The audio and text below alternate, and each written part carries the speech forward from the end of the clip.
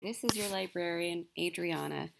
In this video, I'm going to show you how to use the library catalog. We've had a few changes in the past semester, so I just want to make sure everyone's up to date.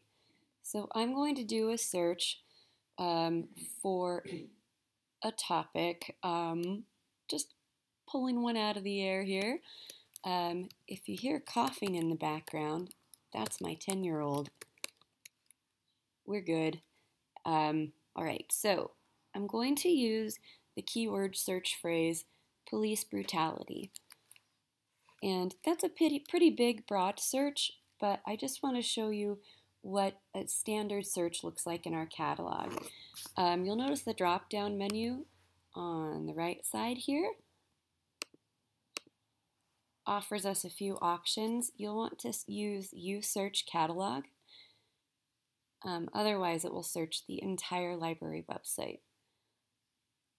And this will give you access to both our physical and electronic resources or sources.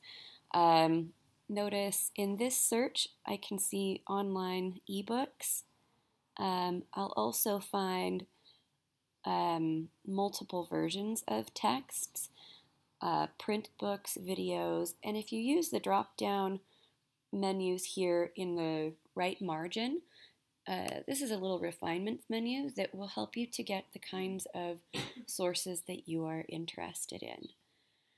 Uh, for example, newspaper articles versus other types of articles, dissertations, uh, book chapters, conference proceedings, etc.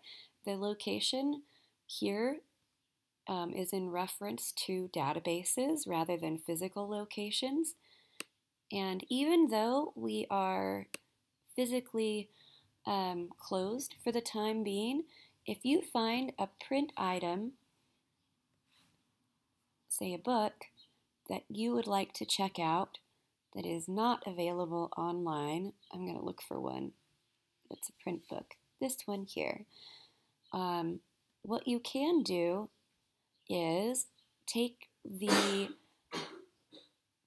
pardon the coughing, you can take the uh, title information, author information, and the year of publication, and if you go back to the library's main page, right at the top here, you will find that